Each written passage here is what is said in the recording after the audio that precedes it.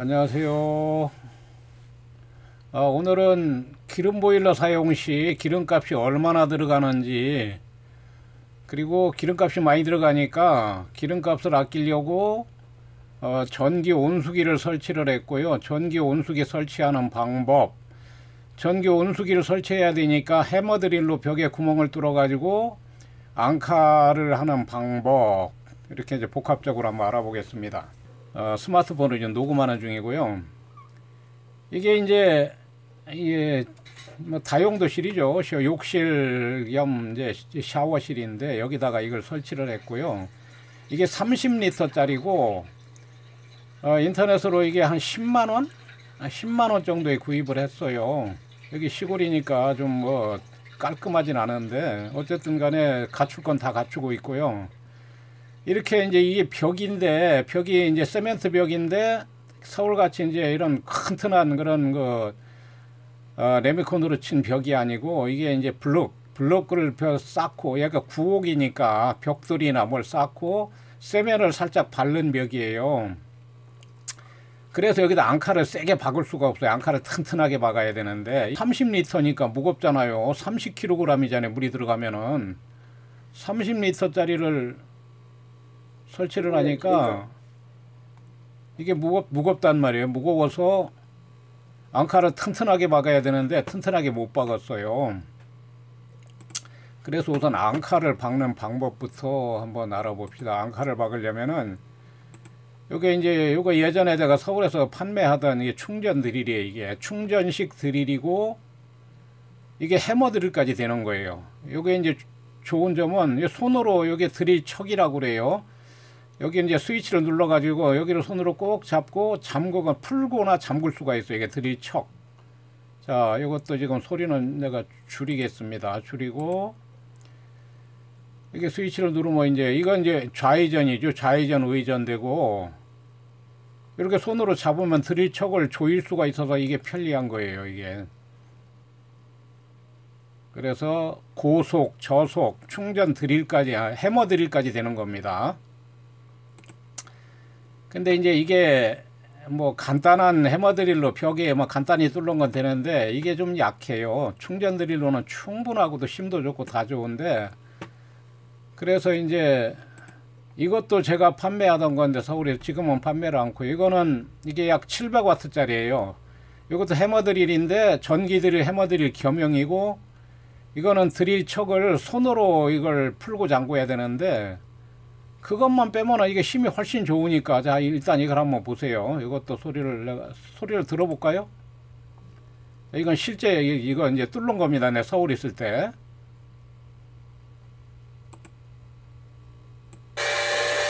이런 식으로 이제 벽에다 구멍을 뚫어요. 이렇게 뚫고 요게 이제 칼브럭입니다. 거기다 칼브럭을 망치로 때려봤고 이제 이 충전 드릴로 여기 나사를 거기다 나사를 박으면은 지금 그 구멍을 뚫은 데다가 칼브럭을 넣고 나사를 박으니까 칼브럭이 확장돼서 빠지지 않는 거예요. 이게 앙카 작업은 앙카 작업. 그래서 이제 그 전문가가 아니고 가정이나 사무실에서 이렇게 할 수 있는 게 이거 조금 전에 집어넣은 칼브럭이라는 거 있죠. 요거 칼브럭. 칼브럭이라는 걸 이게 망치로 때려 박는 거.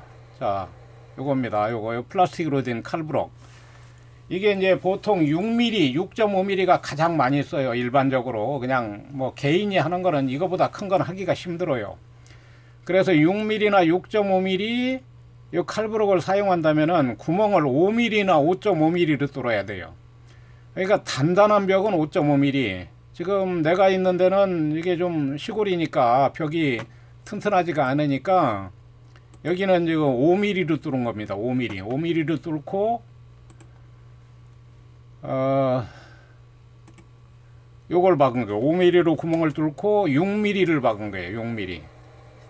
이제 5mm로 드릴로 뚫고 드릴로 흡이면 약간 넓어져요. 그럼 6.5mm까지 박을 수가 있는데 이렇게 박고 여기 지금 온수 보일러가 있잖아요. 온수 보일러 뒤에 여기다 걸 수 있는 그 쇠로 만든 고리가 있어요. 그 고리를 여기다 이렇게 대고 이런 식으로 앙카 두 개를 받고 이 온수를 모이를 여기다 올려 걸어 놓는 거예요 벽에다 그러니까 이것도 30리터짜리 내 서울에 쓰던 건데 지금 여기서 쓰는 것도 30리터짜리고 그러면 이게 30kg잖아요. 이게 무거우니까 어, 벽에 앙카를 튼튼하게 못 박았기 때문에 이게 이게 무거 물이 꽉 차면 30리터인데 이 통까지 하면 한 40kg 정도 되잖아요. 40kg도 넘을 거예요. 이게 무겁더라고요. 빈 통인데도. 그래서 이제 무거워 가지고 여기다 앵글로 좀 받친 거예요. 앵글을 보면은 여기 이렇게 고무발을 끼우고 밑에다 이렇게 받친 게 혹시라도 이게 아, 벽에서 이 뜨거운 물꽉 쏟아지면은 뭐 샤워나 세수하다가 큰일 나잖아요. 그래서 이렇게 받쳐 놓은 거고요. 주문을 했는데 이게 왔어요. 그러니까 이거 이건 바닥에 놓을 수도 없어요. 밑에가 스탠드가 있어야 이게 밑에가 반달 형식입니다. 그러니까 둥글둥글하는 이런 걸 보냈어요. 이 형식으로 봐서는 이게 지금 뒤집어서 있어야 정석인데 할 수 없이 뭐 반품하기도 그렇고 그냥 여기에 설치해 가지고 쓰는 거예요. 지금 보면은 요게 요게 냉수입니다. 냉수 파란색이 냉수를 넣고 요거는 뭐 물뭐 뭐 나중에 에어빼라고 있는 모양인데 이거 쓸 일도 거의 없어요. 일단 달려 있으니까 그냥 끼운 거고요. 여기서 여기까지는 달려 있습니다. 여기서 여기까지 여기까지는 그리고 요 밑에는 여기까지만 달려 있고 요 위에 밸브하고 요 위에 엘보 그다음에 엑셀 이런 건 전부 내가 이제 직접 설치한 거예요. 이게 몽키 스패너가 있어야 되겠죠. 여기 이제 물이 새지 않게 여기를 조여야 되니까 아, 테프론이 있어요. 테프론. 테프론을 끼우고 이 밸브를 다룰 땐 밸브는 없어도 되지만 만일의 경우에 이게 고장나서 고친다 그럴 땐 여기 나중에 밑에도 밸브를 달았는데요. 밸브를 달아놔야 돼요. 그래야 만일에 언젠가는 고장이 날 거 아니에요. 그래야 밸브를 잠그고 이 호스를 뺐다가 뭐 끼우든지 그러죠. 그래서 이 밸브를 설치할 때는 밸브가 이쪽으로 제끼는 밸브니까 볼 밸브라고 이거를 그러니까 이게 걸리지 않게 잘 보고 잠궈야 돼요. 나사니까 오른쪽으로 돌리고 왼쪽으로 돌리면 풀어지죠. 어, 세지 않을 정도로 자, 조이긴 조이지만 너무 세게 조이면 이거 다 망가진다고요. 이, 저, 예, 제가 서울에서 수천 가지 이렇게 판매를 하다 보면은 그 나사를 막 그냥 그, 뭐, 예? 겉돌게 하는 사람들, 그 고객들 참 많아요. 그, 그런 사람들은 이런 거 뭐 하면 안 된다고 봐야죠. 그래서 이제 여기, 여기다 이제 내가, 어? 여기 단 립을 끼우고, 여기 이제 안쪽에 나사가 있는 이게, 이게, 이게 뭐라 그러다. 이걸 끼우고, 여기다 엘보 끼우고, 엑셀 부속 사다가, 요 엑셀을 요거, 어?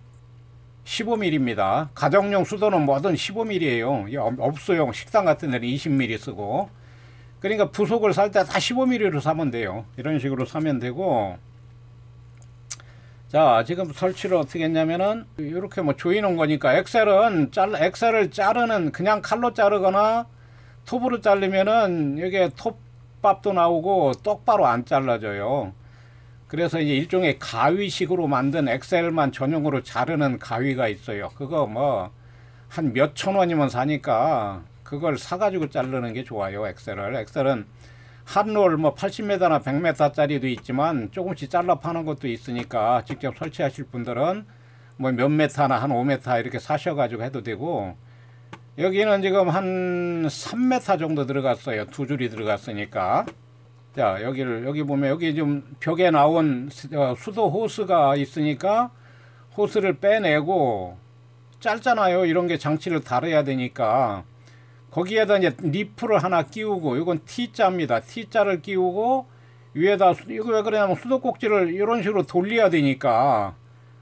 돌려서 요거 이제 세탁기로 보내고 요 밑으로 내려와서 또 밸브를 또 달아놨어요. 왜 달아놨냐 이 밑에가 고장나면 이걸 잠궈야 될 거 아니에요.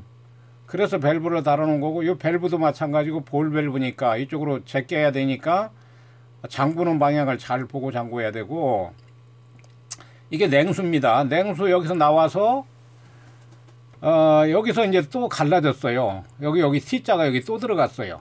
여기 여기도 C자입니다. 그래서 하나는 요거 냉온수기 이제 요거 냉온수기 요거 샤워 샤워 이제 수도전이죠 이것도 인터넷으로 사다가 이제 설치를 한 건데 샤워전에 하나가 하나는 이게 요로 이제 엑살로 해가지고 이제 온수기로 들어간 게 냉수가 그러면은 이제 여기서 온수가 나와 가지고 여기 이제 온수는 일로 나오는 거죠. 냉수는 일로 들어가고 온수는 이쪽으로 나오고 여기 빨간불이 들어왔다는 거는 지금 온수기가 작동한다는 거예요. 그러면 이제 가만 놔두면은 요 맞춰놓은 온도에 따라서 이거 지금 뭐 한 90도, 95도 정도 되겠네요. 이 정도 온도에 맞춰 놓으면은 이제 물이 데워지면은 이게, 이게 불이 꺼집니다. 그 온도가 내려가면 다시 이제 데워지고 이 안에는 아주 보온이 잘 돼 있어 가지고 거의 하루 종일 이거 안 쓰면은 안 돌아가요. 그래서 사실상 이게 전기를 많이 전략을 하는 건데 가정에서는 쓰기가 힘들어요. 이게 2500W거든요. 2.5kW. 그러면 가정집에서 이거 돌리면은 뭐 전기세 때문에 안 되고 뭐 쓰더라도 잠깐 잠깐 써야 되겠죠. 저는 이제 여기가 이제 출판사를 운영하니까 사업자 등록증을 제출하고 그러니까 이제 이 산업용 전기는 아니고 영업용입니다. 일반 서울에서 있을 때와 마찬가지로 기본 요금은 이제 5kg, 5kg를 끌었어요. 3kg는 안 되니까 5kg를 끌어가지고 5kg도 마찬가지예요. 이것도 5kg 이제 기본 요금은 비싸지. 5kg에 대한 기본 요금을 내야 되니까. 그러나 5kW를 끌었기 때문에 전기를 한 달에 많이 써도 누진세가 안 붙죠. 가정용으로 쓰려면 전기세 100만 원 가지고도 안 돼요. 이거 지금 업무용으로 써도 내가 서울에서 뭐 한 달에 전기세 한 100만 원씩 냈는데 거기다 서울에 있을 때는 이제 넓었으니까 지하실도 넓고 2층 사업장하고 두 군데를 썼으니까 그렇고 여기서는 이제 뭐 이거 지금 여기 평 예, 그러니까 거주하는 사, 컴퓨터실하고 주방하고 해봐야 한 10평밖에 안 되지만 여기 이제 책을 만드니까 컴퓨터도 여러 대 있고 재본기가 그게 또 1200와트예요. 그 재단기도 그것도 뭐 한 5, 600와트 들어가고 그 재단기가 두 대라 있지. 기계가 돌아가니까 가정용 전기로 안 되죠. 그래서 5kW를 끌었기 때문에 저 같은 경우는 이걸로 뭐 써도 부담이 안 되죠. 그래서 일단 뭐 어, 세면을 하거나 샤워할 때는 무조건 이 온수기로 쓰니까 이제 기름 보일러는 거의 안 쓰는 거죠. 이제 아주 추울 때만 잠깐 돌리고 잘 때는 이제 전기장판 깔고 자고 아주 보일러 꺼버리고 이렇게 전략을 해도 지금 아, 1월 1일이잖아요. 그러니까 한 달 지금 썼는데 한 3분의 1, 200리터 이상 들어갔다는 얘기예요. 기름이. 한 3, 어, 엊그제 내가 들어가서 봤거든요. 줄어드는 그, 저걸 수위를. 기름 그, 높이를 봤는데. 그러니까 기름값이 너무 비싸니까 이렇게 전략을 하지 않으면은, 물론 이제 나는 전기세는 좀 많이 나오겠죠. 많이 나와도, 아, 이렇게 추운 겨울에 따뜻하게 지내려면은 100만 원 가지고도 어림도 없다. 그래 아주 뭐 아끼고 아껴도 한 50만 원 이상 들어가야 된다. 그래서 전기를 써가지고 온수 보일러를 써서 일단 더움으로 무조건 온수기를 사용하고 그 온수기를 설치를 해야 되니까 해머드릴 사용법, 앙카 박는 법, 수도 배관하는 방법, 엑셀 하는 방법, 어, 여기 오늘 뭐 아주 토탈 뭐 이? 종합 선물 세트네요. 종합적으로 어, 어, 설명을 했는데요. 어쨌든 저와 같거나 이런 온수기를 설치를 하시려는 분들, 기름값이 너무 비싼 분들, 이 참 시골에 살더라도 도시가스 들어오는 데로 가야지 이거 기름 보일러로는 이거 감당이 안 됩니다. 자 오늘 여기까지 하겠습니다. 감사합니다.